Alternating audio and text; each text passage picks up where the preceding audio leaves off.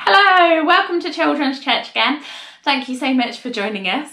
You'll notice that we're at Palm Sunday and there are our palm leaves behind us which we'll show you how to make during our craft. We've got lots of little videos for you that we're going to be posting up during Holy Week which will take us from Palm Sunday, which is today, all the way up to Easter Sunday in one week's time. Got little challenges, little prayers, little things that you can join in with at home. Thank you so much for joining us. We're going to light the candle. It reminds us that the presence of God is always with us as we start our morning's worship.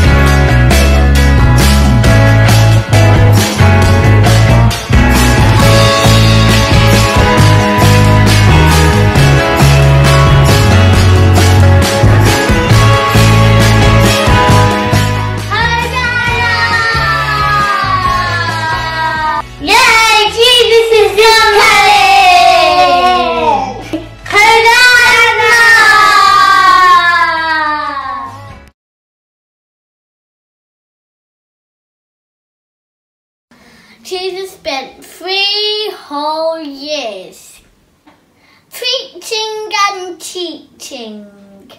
And he did many miracles and he healed people. Crowds gathered around him. Here we go, we need to make a crowd. Samuel, Minnie, and birds around. This is so big crowd.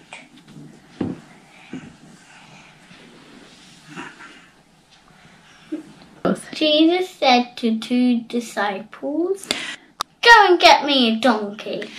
Donkey, we need you!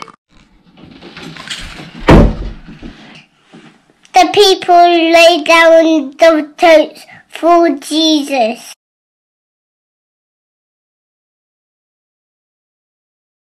Now, So the crowds gathered near and Jesus rode into Jerusalem on a donkey.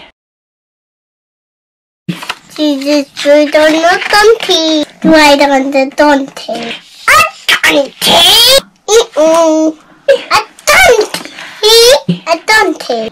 Mm-mm. A donkey. The crowds all cheered, Hosanna! Hosanna!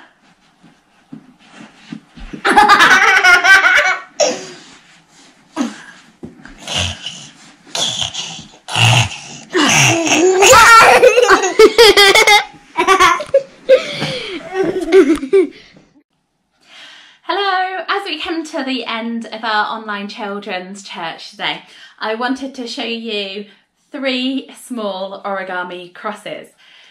The link of how to make these crosses, these holding crosses, is also on my YouTube channel. If you'd like to take a look, I'll make sure that there is a link in the bio just below. So click on that. Older children especially will really enjoy making these. And if you know anyone that's poorly or ill, you can hold on to the cross and you can name them. As we name them to Jesus, we give them to God. And we ask that God's healing presence would be with them. And so, as we come to the end of this week, I thought you might like to take and hold your palm crosses as we say our final prayer. Let's pray. Jesus, our King, who rode a donkey, give us ears to hear your voice and minds and bodies ready to do what you ask. Help us to go out and sing hosannas and praise your name. Amen. May God bless you. Have a great week, and we'll see you in a few days' time.